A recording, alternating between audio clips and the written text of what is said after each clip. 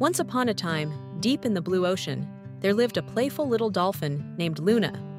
She was energetic, curious, and loved discovering new adventures every day.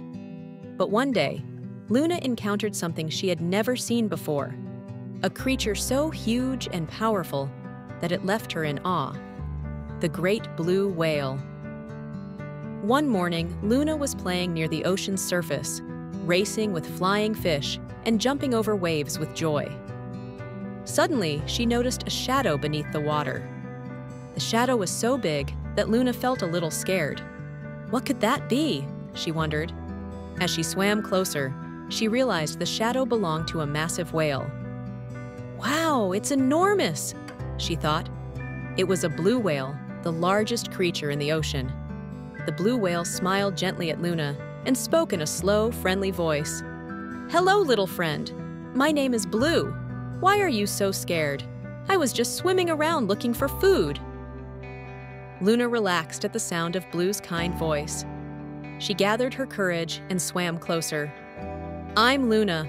I've never seen such a big creature in this part of the ocean before. It's an honor to meet you. Blue Whale chuckled, and his laughter echoed through the ocean. Would you like to join me on an adventure, Luna? There are many secrets hidden deep in the ocean. Perhaps we can discover them together. Luna's eyes sparkled with excitement. She had always dreamed of exploring the deep ocean, but she had been too scared to go alone. Now she had a giant friend to guide her. Together, they set off. As they ventured deeper into the ocean, Luna saw colorful coral reefs, glowing fish, and shimmering schools of jellyfish. Blue Whale told Luna the secrets of the ocean. You see, Luna, every creature here has a place and a purpose. We whales help keep the balance of the ocean, guiding other creatures and keeping the deep waters clean. Luna realized how wise Blue Whale was. She looked up at him with admiration and said, You're a very special creature, Blue. I want to be a great explorer like you. As the sun began to set, the two friends slowly surfaced back to the top of the water.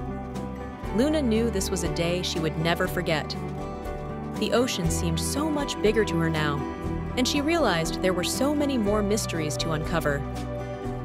As Blue Whale said goodbye, he spoke softly. Remember, little friend, the ocean is a vast world. There will always be something new to discover, and I will always be here, waiting for you. Luna took a deep breath and smiled. Thank you, Blue.